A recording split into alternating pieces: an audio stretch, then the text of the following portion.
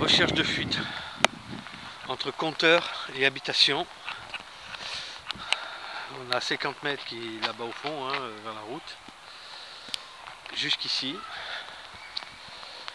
Jusqu'au compteur, euh, la, vanne euh, dans la maison. Fuite détectée exactement ici. Au gaz traceur et à l'aquaphone. Confirmation du client.